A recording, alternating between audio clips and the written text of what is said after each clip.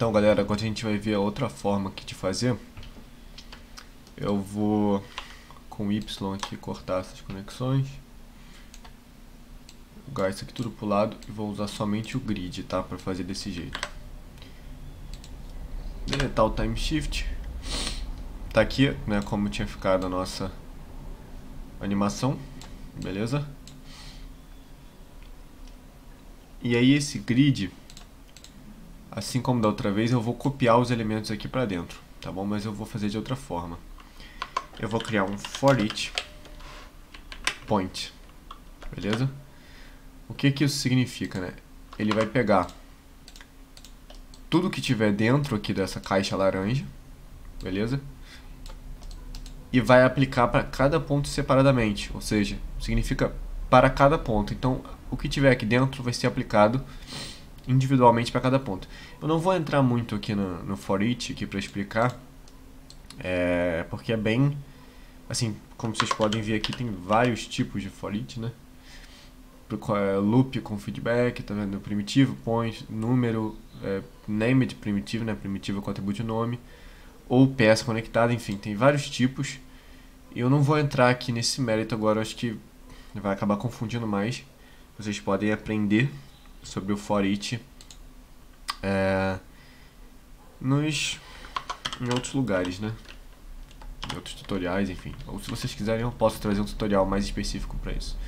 Agora a gente vai criar aqui o copy to points. No, a gente vai botar aqui o que vai ser copiado. É aqui, posição Y. E vai ser puxado aqui do nosso grid, né? Que está aqui no for each.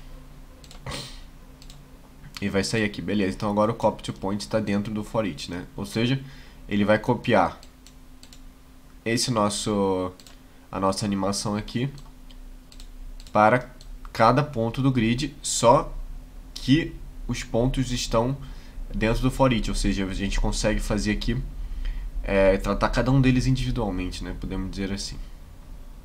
Inclusive, se eu botar aqui single pass, olha só a gente consegue ver cada uma das peças separadamente, tá vendo? Aqui no for each end a gente consegue fazer isso. Só que agora, como a gente vai fazer para ter a, esse offset né, do movimento deles? A gente pode fazer criando um attribute wrangle aqui e vamos criar uma, um atributo arroba, o nome desse atributo a gente pode botar off tempo, pode ser esse o nome que seria o offset do tempo, né? O que, que vai ser o off tempo? Vai ser um perdão, vamos botar assim um float que a gente vai criar, CHF significa channel float, né? A gente vai criar um float e o nome dele vai ser é, botar assim, offset mesmo, como da outra vez. E a gente vai querer, deixa eu ver, multiplicar ele pelo... Não. O que que isso significa? O offset do tempo, que é esse off tempo aqui, esse atributo, ele é igual a um float, que a gente vai dar um valor que a gente quiser, que vai ser offset, multiplicado pelo número do elemento, tá bom? O número do elemento é que cada um desses elementos aqui tem um número para ele, né? Como se fosse uma identidade. Então a gente vai multiplicar pelo elemento, ou seja, cada um deles vai ter uma um tempo diferente, né? Eu vou explicar já como que isso vai funcionar. Vamos clicar aqui no maisinho para abrir o nosso offset aqui. Vamos botar é, vamos, um, beleza? Tranquilo. Agora a gente precisa, como da outra vez, criar um time shift aqui, tá bom? Esse time shift a gente vai ter o quê? A gente vai fazer, vai criar aqui uma, uma expressão chamada point, beleza? E abrir parênteses. A expressão point é puxar um valor de um atributo de ponto, tá bom? É um string, ou seja, é o da, qual node que a gente vai puxar, né? Da onde a gente vai puxar esse atributo, o número do ponto, qual atributo e a posição do componente em atributos que tem muitos, enfim. Quando tem vetor, cor ou é, matriz, né, array, enfim, não, não é o caso aqui. Então a gente vai fazer o seguinte. A gente vai primeiro dizer da onde a gente vai puxar. Aspas, ponto, ponto, barra. E a gente vai puxar aqui do for each begin, tá? A gente vai dizer o seguinte, for each begin. Fechou. Agora a gente precisa dizer o número do ponto. Deixa eu botar zero. Porque ele vai tratar cada ponto separadamente, então a gente pode botar em zero, tá bom? É, vai dar certo. E o nome do atributo a gente botou off tempo, né? E aí o último a gente botar zero que a gente não vai usar, tá bom? E agora olha só o que a gente tem. Alguma coisa muito doida acontecendo. Só que ele tá parado, tá vendo? Ele tá com valor parado aqui. A gente precisa dizer o seguinte. Dólar $F que significa o frame que você tiver mais isso. Entendeu? Então agora a gente tem uma diferençazinha, olha só. Tá vendo? Alguma coisa acontecendo aqui. A gente pode vir aqui botar menos 5, talvez. Olha o que a gente tem. O crescimento com delay. Até mesmo nessa linha já está acontecendo um delay, tá vendo? Para cada ponto aqui, né, começa, ó, 0, 1, 2, 3, 4, 5 e vai vindo, então cada ponto ele tá com um delay diferente. A gente pode botar menos 1 para diminuir esse delay, tá vendo? Então olha só. Agora já tá tudo um pouquinho menos devagar aqui, né, esse delay entre as, as peças, os, os números dos elementos. Mas ainda tá demorando muito, tá? Então a gente pode botar aqui, por exemplo, menos ponto 1. Tá bom? E agora vamos dar uma olhada como ficou. Vou botar aqui até o frame 150.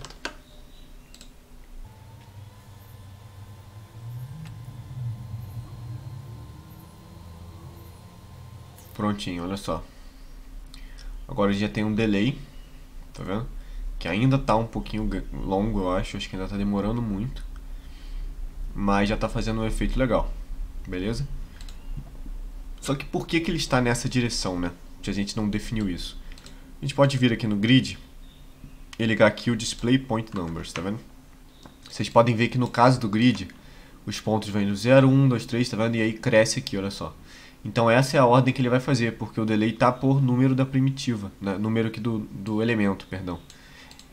Então aqui eu poderia botar também, por exemplo, sem problema nenhum, pitching não, tá? Daria no mesmo. Vou ativar aqui. Tá vendo? Não deu no mesmo no caso. Porque tem um M aqui atrapalhando. Prontinho, olha. Daria no mesmo. Tá vendo? PT não é o número do ponto. Só que a gente pode botar L não e vai dar no mesmo. Número do elemento. Entendeu? Então não tem nenhuma diferença aí no caso. Olha só. Tá acontecendo a nossa animação. Só que tá acontecendo nessa ordem por quê? Porque ele tá pegando um valor que é menos ponto 1 e multiplicando pelo número do elemento. Então aqui é, vamos supor, é 0 multiplica, é, menos 1 multiplicado por 0. Aí aqui vai dar 0, então ele vai começar na hora certa, não vai ter nenhum offset no tempo. Né? Esse aqui é 1, então é menos ponto 1 multiplicado por 1. Aqui na frente vai ser, sei lá, 80, aí vai ser menos 0.1 multiplicado por 80. Então, isso vai causando o delay no surgimento deles, entendeu? É esse valor aqui. A gente poderia muito bem, sem nenhum problema, mudar. Como a gente uma, uma forma de mudar isso? Seria a gente criar um sort. Entendeu? A gente pode criar aqui em cima um sort. O que, que é o sort? É como você vai organizar esses pontos. Eles estão organizados assim, que é como vem. Né? Então, a gente pode dizer assim, olha só. By z vai continuar igual. Por quê? Porque aqui é a direção do Z, então ele está fazendo... Só que a gente pode botar reverse. Então ele vai começar de lá e vai vir para cá, tá vendo? E aí você teria outra direção para animação. Ou a gente pode botar by X e aí tipo vai para lá, entendeu? Então agora, quando a gente ligar aqui, a direção vai ser para lá, olha só. Vai ser diferente do que estava acontecendo, mas a animação vai dar no mesmo, tá vendo? A diferença é que aqui a direção, né, que tá o nosso os nosso as nossas costuras está para lá ainda, então fica bem estranho, na verdade, né? Porque ele cresce lateralmente, não na direção que as costuras estão. A gente precisaria vir aqui no copy to point e aqui na verdade, né? E mudar aqui, ver como que a gente pode fazer isso. Vem aqui e diz o seguinte, é... Na verdade é mais fácil aqui, eu acabei confundindo, né? A gente pode criar um transform aqui. Daria pra fazer aqui no Wrangle também, mas eu acho que aqui é mais fácil. E aí rodar aqui mesmo, olha só, 90, por exemplo. E agora a gente tem certinho, né? Crescendo pra lá. Tá vendo? E a gente pode controlar a direção que cresce dessa forma. Vamos voltar aqui como tá. Eu poderia vir aqui no, no Sort e aí mudar, por exemplo, é, Proximity to Point, tá vendo? E aqui a gente controla o ponto que a gente quer. Então agora o ponto está no meio, tá vendo? Olha só, o ponto está aqui no 0, 0, 0, ele está bem aqui no meio. Então o que acontece? Ele vai crescendo a partir do meio, olha só. Tá vendo? E isso dá uma possibilidade boa aí de controle, né, da sua animação. Tá bom? a gente poderia também é, mover esse ponto, né, para onde a gente quer. Então, olha só, a gente consegue definir aqui aonde começaria a nossa nossa animação, entendeu? Aqui a gente poderia botar o ponto no meio e botar reverse, né? Então aí ele vai crescer até o meio, olha só. Até fechar no meio, tá vendo? E isso te dá um controle muito legal da animação. A gente poderia até pegar esse ponto aqui que eu tinha feito e colocar ele por exemplo,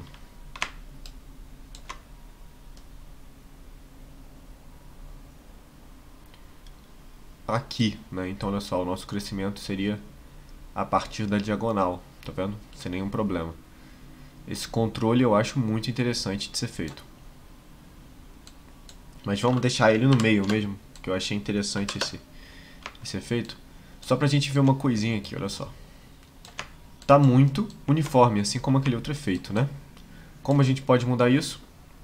O atributo que a gente está usando para controlar né, o, o, offset do tempo aqui, vamos voltar para cá. O atributo que a gente está usando é o off tempo. Então a gente pode criar aqui um attribute noise, beleza? Vamos deixar aqui na cor mesmo, em float, preto e branco, tá vendo? E a gente consegue visualizar melhor, né? Como está o nosso o nosso noise, tá bom? A gente pode diminuir aqui para ponto 5 o elemento. Eu não sei se vai estar tá para ver, vai dar vai estar tá dando para ver direitinho aí, mas tem uma parte preta e uma parte branca aqui, tá? É, vamos voltar aqui para 1 um mesmo. É, vou botar 7. Beleza? Zero centered. Aí vai dar para ver melhor, olha só. Tem algumas partes pretas e outras brancas. Se a gente, em vez de fazer um atributo noise no CD, a gente fizer no off tempo, olha o que acontece.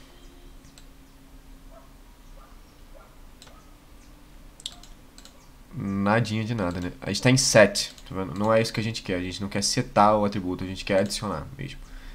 Beleza. Ou até multiply. Não, o multiply também não dá certo. Vamos no add. Vai ter que ser o add. Beleza? Olha só, a gente está conseguindo ver que tem um, um delay, isso que a gente precisa aumentar a amplitude. Tá bom? Aumentar a amplitude. E agora a gente consegue ver. Não vai ser muito fácil de visualizar. Mas ele não está mais uniforme. Vendo? A gente consegue ver por aqui assim, olha só. Tem partes que estão crescendo antes de outras. Né? A gente poderia até aumentar aqui o element size até dá pra ver bem isso. Aumentar também a amplitude, enfim.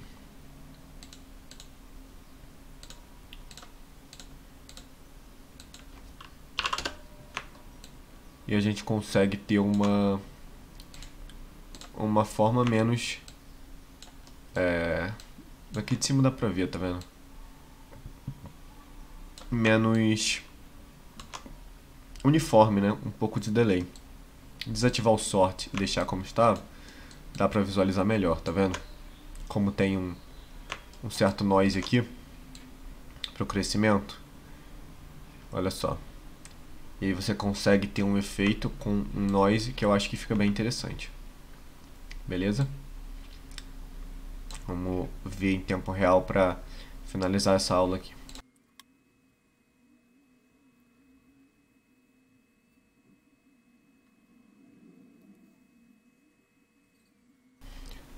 Prontinho, gente, olha só.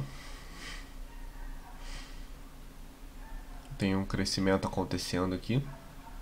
Ele está um pouquinho lento demais até, a gente pode melhorar, mas eu prefiro esse método, eu acho que a animação fica mais suave, você tem mais controle da animação. Beleza? E é isso. Próxima aula eu mostro como faz o setup do, do Octane, né? Da forma como eu fiz. E depois de ensinar o Octane, a gente parte para a iluminação e render. Valeu, galera.